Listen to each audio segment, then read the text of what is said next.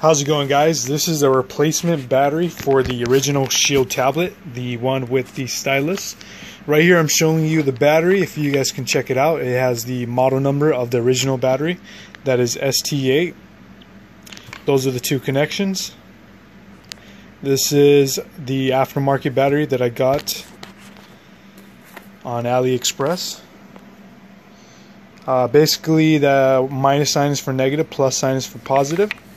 So you're going to have to follow the same steps, except you're going to have to switch them over because on the original battery, uh, the positive side is on the left and the negative is on the right. So going on over here, this is that, uh, I think they call it a PCM board, but pretty much you're going to have to tear it apart. There's like these metal tabs that are connected to the original battery. You're going to pull it out.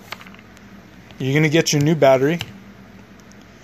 You're going to get the wires, right? So you're pretty much going to connect negative, negative, which is black, to, to the minus sign, and the red, which is positive, you're going to connect it to the plus sign. All you have to do right here is just solder the wires to that board. That's all you have to do is just solder it to them. Then you'll have connection to the battery. That's a solder gun that I use. Again, that's that that motherboard or PCM board. As you can see, positive on the left and then negative on the right.